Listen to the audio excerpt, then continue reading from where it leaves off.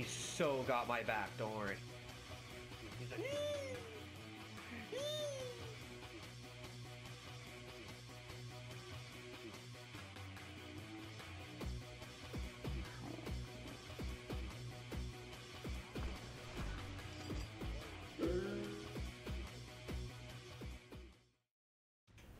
Hello everybody, Coldblood FTW here, and I have to show you this gun upgraded. Wow.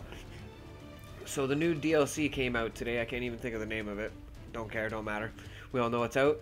And they put the, says right there, Razorback in the new map, and it is a beast. They put the MX Garand in as well, and they also put in the uh, the HK40, the HG40 or whatever it's called. I think it's the HG40.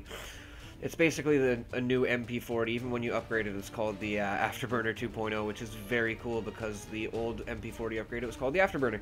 So yeah, but anyway, the Razorback, this is the new hotness. I was even saying when I was using this, this is like the new PPSH. Like, this gun is phenomenal upgraded. I can't say that enough.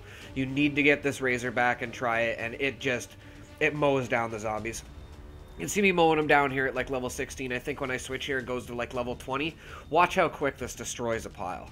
Like, this gun is ridiculous upgraded. It's called the, uh, the Golem Busty? The Golem Bursty? I forget what it's called. Uh, something like that.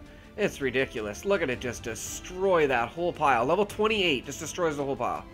Boom! What pile? Don't even need that insta-kill, baby.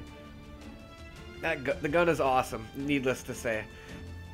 So if you get this gun, get the chance to upgrade it, I'll try to make a video showing you how to make the Pack-a-Punch. It's real simple, everybody.